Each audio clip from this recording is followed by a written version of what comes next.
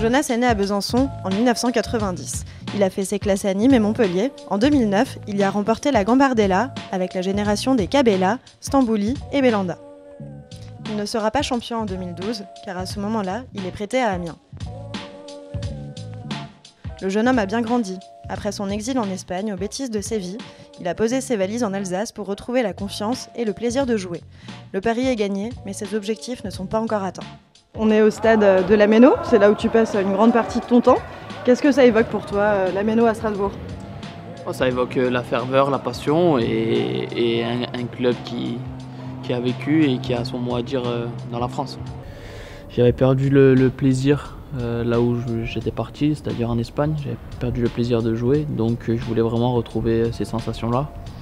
Et le fait de revenir dans un club qui est passionné par le foot, où il y a beaucoup de ferveur, a joué beaucoup. Je savais qu'un jour, euh, malgré ce qui s'est passé euh, pour le club, ils allaient revenir en haut de l'affiche. Et, euh, et, voilà, j'ai eu le, discours du président, du coach qui, qui, qui m'ont inculqué un peu les valeurs du club. Et, ça, c'est très important dans le football. J'en tiens vraiment compte. Et, et je sais que, que c'est un club ambitieux et je suis quelqu'un d'ambitieux aussi. Donc je savais qu'en mettant les pieds ici, j'allais pas J'y allais pas n'importe où. C'est un garçon qui a besoin d'avoir le ballon, de le toucher souvent, euh, d'avoir du mouvement autour de lui aussi, ça c'est important. Et, c'est lui qui fera les bons choix. C'est vraiment une, rampe de lancement. Voilà, c'est un garçon qui, doit, qui est capable de nous transférer le jeu d'un côté à l'autre, de nous faire des passes dans la profondeur, de, servir d'appui à ses partenaires pour sortir le ballon. Voilà, tout, un jeu qui, qui parfois n'est pas forcément euh, très visible, mais qui est très très important dans, le jeu d'une équipe. C'est pas un garçon qui va très très vite, c'est pas un garçon qui, qui va se retrouver devant le but euh, trop souvent, mais par contre c'est quelqu'un qui dans, dans l'entrejeu va, va, servir de courroie de transmission, va, va transférer le jeu et ça c'est important. À seulement 28 ans, Jonas Martin a vécu de Ligue 1 et de championnat espagnol. Une rareté dans l'effectif strasbourgeois, une expérience bienvenue pour renforcer l'équipe. C'est une première saison en France dans un autre club que Montpellier. Je suis revenu après, après un passage pas très facile non plus. J'ai eu beaucoup de, de, changements dans ma vie en dehors du foot aussi. Et, ça, il a fallu un temps d'adaptation. Maintenant, je me sens très bien, j'ai aucune excuse.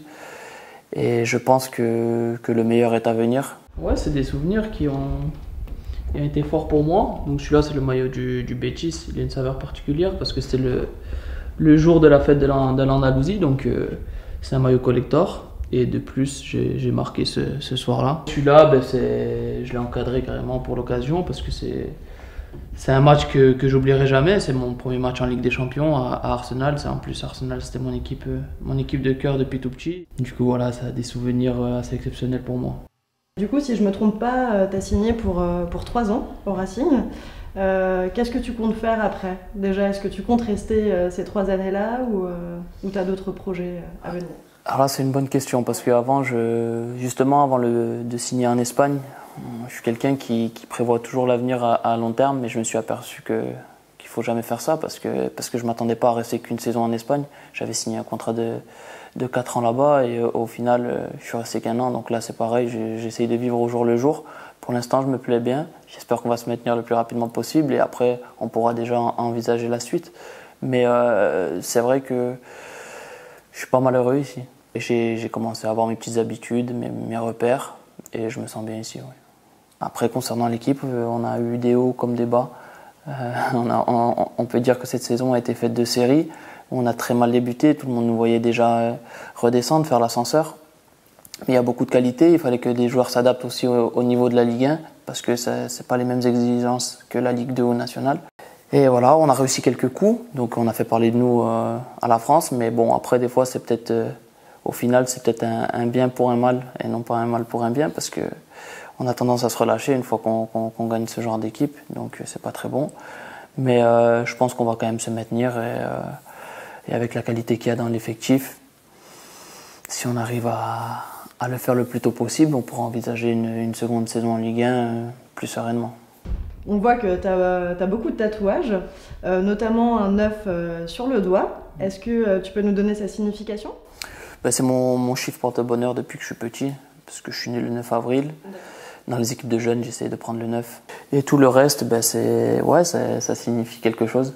n'y a rien qui est, laissé au hasard. Et pour finir, un mot qui te passe par la tête Football. Plaisir.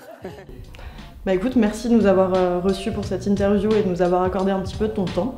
Euh, nous, on te souhaite euh, plein de belles choses et surtout le maintien de l'équipe en Ligue 1 sur cette fin de saison. Merci à vous, c'était un plaisir.